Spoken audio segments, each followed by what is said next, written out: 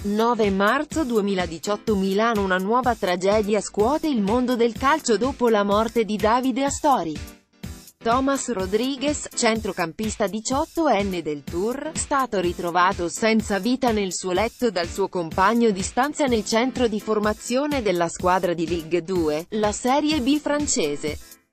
Question mark, question mark. La Lega Calcio francese ha deciso di rinviare la partita tra Tour e Valenciennes in programma questa sera.